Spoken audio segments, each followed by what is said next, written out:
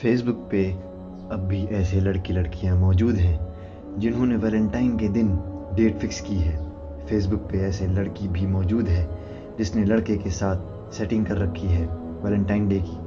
Hotel میں روم بھی بک ہو چکا ہے اور ہوٹل کے روم میں اس کو علم ہے کہ وہ اپنا وجود اس لڑکے کو دے دے گی۔ یوں وہ لڑکی پوری عمر کے لیے نہ صرف اپنا کنوارپن گوا دے گی بلکہ اپنا اپنے بھائی کا، اپنی ماں کا اور اس باپ کی عزت اس لڑکے کے قدموں میں رکھ دے گی، جس باپ نے نہ دن دیکھا، نہ رات، نہ صبح دیکھی، نہ شام، نہ دھوپ دیکھی، نہ چھاؤں، نہ روز دیکھا، نہ پیاس، نہ شدید بارش دیکھی، نہ طوفان، نہ بیماری دیکھی، نہ تندرستی۔ یہ لڑکی اس باپ کی عزت سے بھرپور پگڑی، اس بے غیرت کے قدموں میں رکھ دے گی۔ اور وہ لڑکا اس لڑکی کا سب کچھ سمیٹ کر چلا جائے گا۔ اور یوں ایک اور سال، ایک اور شکار، ایک اور ویلنٹائن، ایک اور ہوٹل۔ میرا لڑکیوں سے سوال ہے، جب اس لڑکے کے ساتھ آپ ویلنٹائن ڈے پہ جاؤ گی، تو ذرا بھی خیال نہیں آتا اپنے والد کا، اپنی ماں کا؟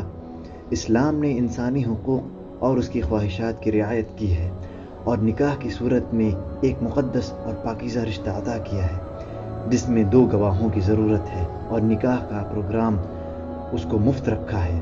اس کے بعد آپ کا ہر دن ایک تہوار کی طرح ہوگا اور مزے کی بات کسی سے چھپانا بھی نہیں پڑے گا۔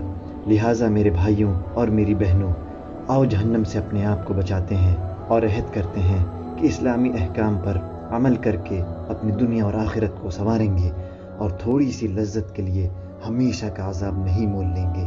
اور نکاح جیسے مقدس رشتے کو اختیار کر کے اپنے ایمان کو مکمل کریں گے۔